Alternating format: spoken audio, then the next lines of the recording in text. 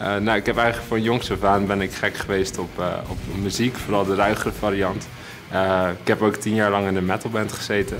En zo rondlopend in die muziek zien dacht ik op een gegeven moment van...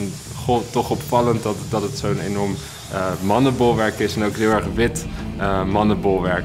En ja, toen ik op een gegeven moment met sociologie in aanraking kwam, toen dacht ik van dat is echt iets wat ik graag zou willen onderzoeken. Hoe kan dat nou? Hoe zit dat nou precies? Nou, het paradoxale is eigenlijk dat rockmuziek van origine een soort zwart muziekgenre was. Dus het werd vooral gemaakt door zwarte artiesten in de Verenigde Staten in de jaren 50. Um, en eigenlijk in die tijd uh, kon je zwarte muziek niet verkopen aan witte publiek, omdat het een tijd was van uh, segregatie in die samenleving. Uh, dus dat mocht niet. Um, vervolgens was er eigenlijk de bekendste is dat een manager, die heette Sam Phillips. En die zei, als ik een witte man kan vinden met het, het Negro sound en de Negro feel, dan word ik een miljonair. En hij ontdekte Elvis Presley, natuurlijk de, koning van de rock and roll. En dat is eigenlijk het moment geweest waarop, waarop rockmuziek wit gewassen is. En dat noemen ze ook wel het Elvis-effect.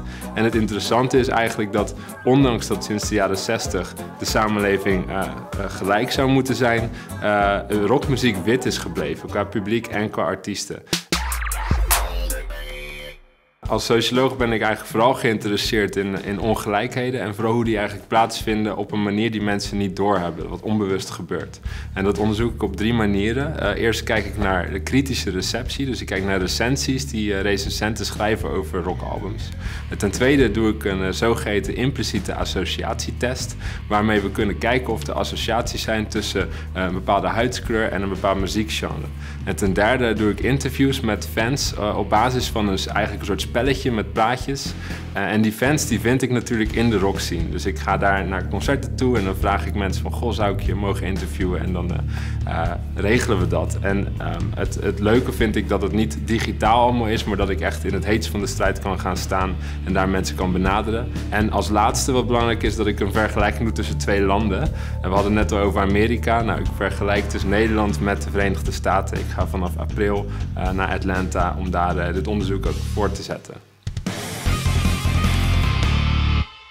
Gaat natuurlijk niet alleen om rockmuziek zelf, het gaat juist om die ongelijkheden in de maatschappij. En we zien dat de laatste paar jaar in Nederland, maar ook in de Verenigde Staten, steeds meer dat debat opkomt over ras en etniciteit.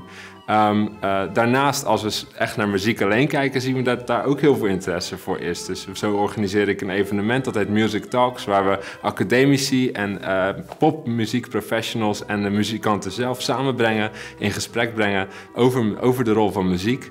Uh, en die, we zien altijd dat die evenementen heel druk bezocht zijn.